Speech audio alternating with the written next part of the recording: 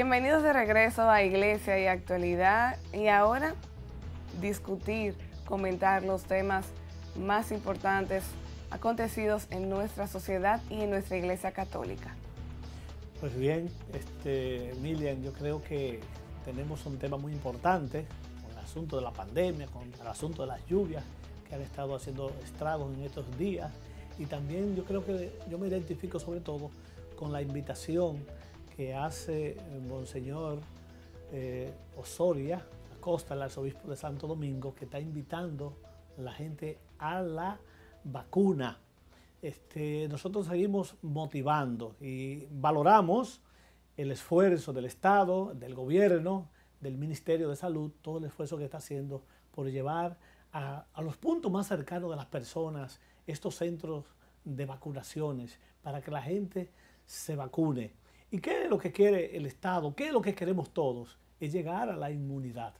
Que si yo estoy vacunado, entonces, aunque me dé el COVID, pero que si eh, no me tengan que hospitalizar, no tenga yo también que, que contagiar a otras personas, es importante. Y yo creo que eh, debemos de quitarnos eso de la cabeza. Todavía estoy escuchando personas que que nos quieren controlar, que un chis, que un tipo de cosas. Óigame, Señor, en la vida todo el tiempo nos hemos vacunado y nunca nadie ha dicho qué, tiene una vacuna. Lo que tiene esta vacuna, ¿usted sabe qué es lo que tiene esta vacuna? Que produce la inmunidad para defendernos del virus y para nosotros volvernos a normalizar y reactivar de nuevo eh, plenamente la economía y comenzar todo. Porque mire cómo está la educación, mire cómo está todo. Óyeme, el país no está eh, no está funcionando 100% a toda capacidad como debe de ser. Entonces, ¿cómo lo vamos a lograr? Si tú y yo nos vacunamos. Así que ánimo y vamos a, seguir hacia adelante motivando, ¿verdad? Y en los últimos días ha aumentado. Se ha visto que ha aumentado la positividad, pero también ha aumentado la cantidad de gente que está yendo a vacunarse.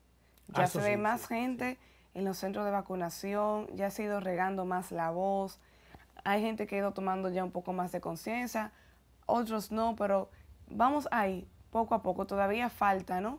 Falta mucho, mucho, mucho por solucionar este problema, falta mucha gente por vacunarse, pero sí había como un tranque al principio, o sea, se veían los centros de vacunación eh, vacíos, o sea, eh, uno que otro quizás lleno, pero pero en, esta última semana ha habido un importante eh, movimiento de, gente vacunándose y hay que seguir regando la voz em, por, nuestro futuro. Eh, como decía Eugenio, eh, compañero nuestro aquí en el programa, que vacunarse es un acto de amor. Fue la primera persona que yo escuché que, dijo eso. Correcto. Muy bonita frase. no es una obligación, pero bueno hacer conciencia, pensar en, lo, en las vidas que tú puedes salvar si tú, si tú te vacunas. Eh, primero la tuya y luego la gente que está a tu alrededor. Y todos nosotros, de una manera u otra, padre, tenemos un familiar ya de edad avanzada. Sí, sí. Y que visitamos. Y que cuando nos visitamos, ¿qué es lo que primero hacemos? Darnos un abrazo, darnos un beso. Y si yo estoy infectado, en ese beso dejo la infección.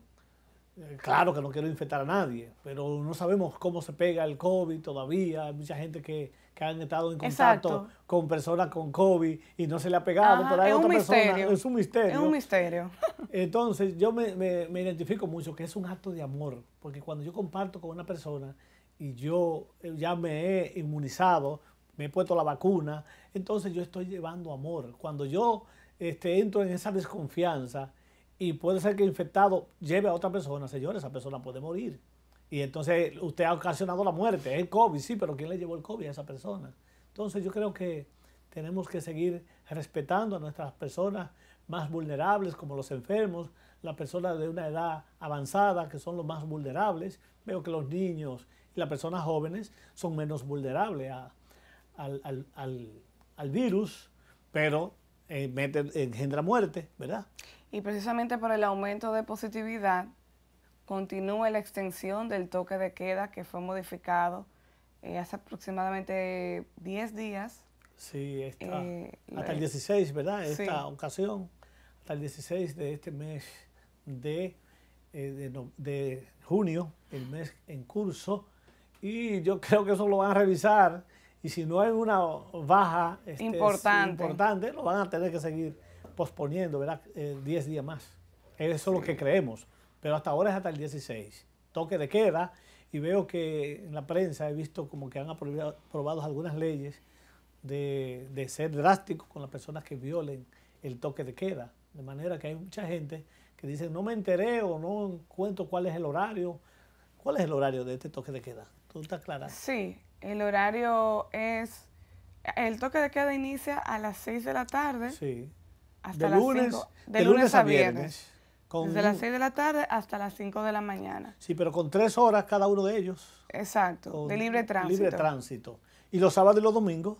E inicia a las 3. A las 3 de la tarde, con tres horas libres para eh, transitar hasta las 6 de la tarde. Que era uno de los horarios eh, iniciales del toque de queda al principio, que fue, yo recuerdo que, Dios mío, uno ahora hablando de eso, ya está pasando un tiempo con esta situación. Yo recuerdo que el primer toque de queda fue el año pasado, el 19 de marzo. el primero fue a partir de las 12 del mediodía, fines de semana. sí, fue el año, el año pasado, en el mes de marzo, el primer toque de queda. Este, bueno, de ahí para acá siempre ha habido toque de queda, pero se ha flexibilizado un poquito más. Ahora se ha vuelto, a, restringir un poco. ¿Y qué significa esta restricción?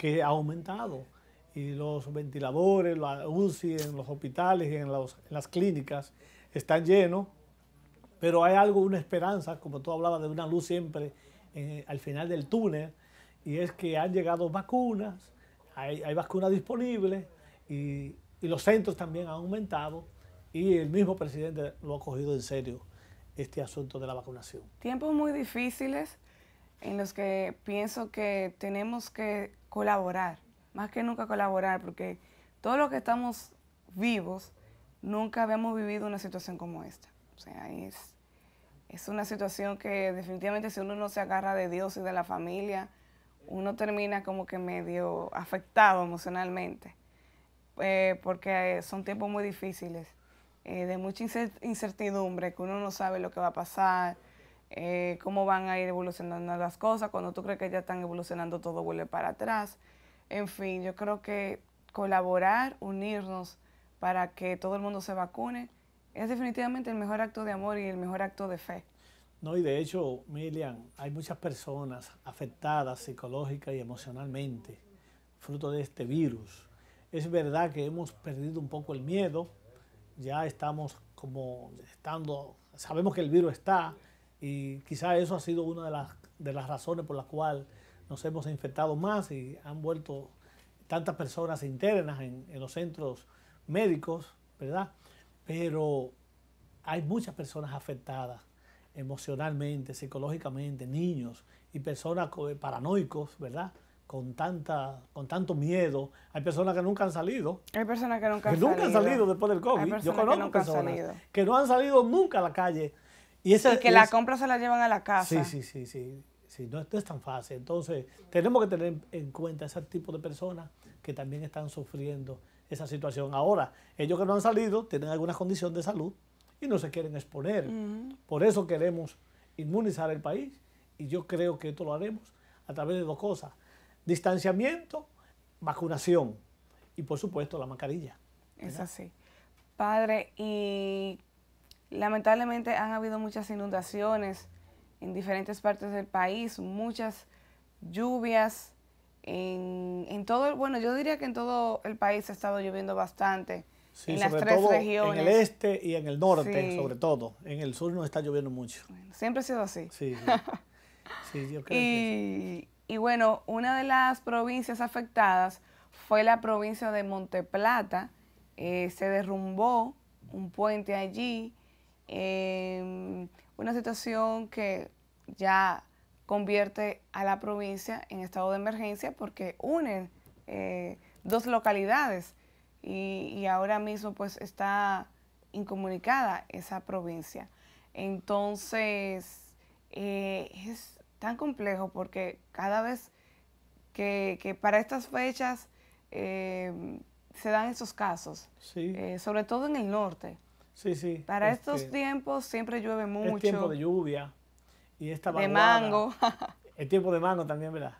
Y esta vaguada ha venido afectando también muchas localidades, eh, sobre todo del norte. Este, yo vi un desbordamiento del río allá de Cenoví, de San Francisco, y el daño que ocasiona cada vez que tenemos este tipo de inundaciones es incalculable, porque se, barre con toda la producción de arroz, la producción de plátano, guineo, ese, ese producto de mancha, que es muy vulnerable porque este, las cepas siempre están como a la flor de la tierra y con cualquier brisa y con cualquier este, humedad, entonces se caen. Cada vez que se cae esa producción es pérdida y también viene siempre una, una, ausencia ¿verdad? Este, de, de, ese producto que es tan consumido por, por todos los dominicanos. De manera que siguen las inundaciones y todavía está lloviendo, no vamos a ver hasta cuándo va a seguir lloviendo, pero también tenemos que hablar, este, Emilian, porque es verdad que los desbordamientos de los ríos y arroyos eh, crean daño, también ahogan animales, vacas, caballos y otras especies, pero también el agua, este, de nuevo, como que da el fruto que necesitamos. se llenan las presas. Sí, eh, las presas se llenan, pero lo, más importante es que el agua hace que la tierra de nuevo se recomponga. Y ya dentro de pocos meses otra vez volvemos a ver florecer todo y, seguir este, produciendo. Eso, eso es lo más importante. Y ya para finalizar, vamos a tocar un tema muy importante para nosotros. La comunión es el valor del mes. La comunión. Este, la comunión es el valor del mes.